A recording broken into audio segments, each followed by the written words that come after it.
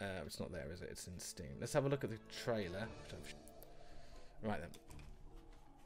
Right, so it does have that kind of Fortnite build base building, which, you know, seems to be a common thing at the moment for survival based games. It's gone for comedy, which is strange. Okay, so it is a kind of TV game show kind of thing. It's got that really weird player glides left to right kind of um, model animation.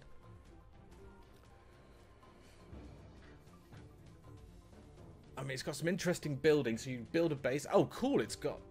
Okay, we've got guns and ammunition. So you can... Jesus.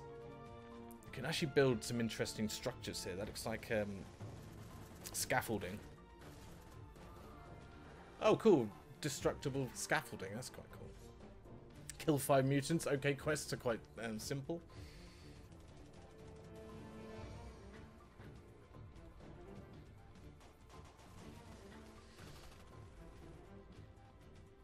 Okay, so we're getting... Okay, they're bosses. That looks like a boss of some sort.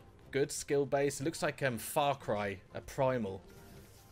In the sense of the combat and the character development.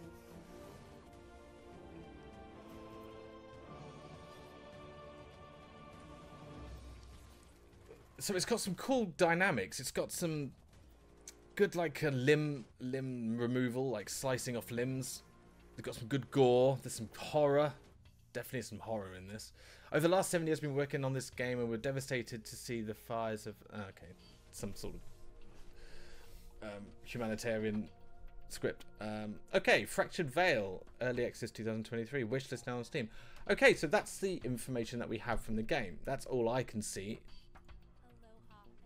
Oh, here we go. Let's go big screen. Oh, that was a um, ukulele with a bow and arrow in it.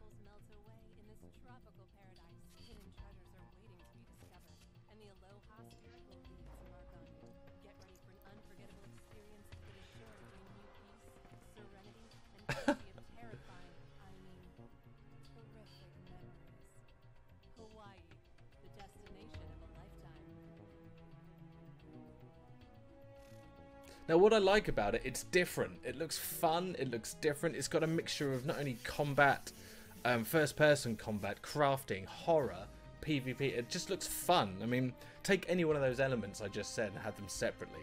You've got Rust and you've got like um, Fortnite-style games, but this one looks a little bit more adult, and it kind of encapsulates more than just killing. It seems to have a whole system of crafting, exploration, things to do with team, and things to do on your own. So that is what I kind of brought my attention to it. Now, it is out in seven days. That's kind of okay. I mean, I don't like that kind of building when you're in combat. So you just put a wall in front of you whilst fighting. I mean, what's his character model? Why is he so shiny? It's like plastic. These are like Fallout characters. Like soulless expressions on their faces. I'm going to be a bit critical now. That sliding around on the feet is a kind of annoying. Um, this is all fine. I don't like this noise they're playing over the top. Building up little posts, okay, I understand that. Smelting. I love explosions and things like that. This can be really fun if you have a guild. I mean, that's great. I like stuff like that. And it looks like they were fighting zombies, not each other. Quest giving, fine, I like that.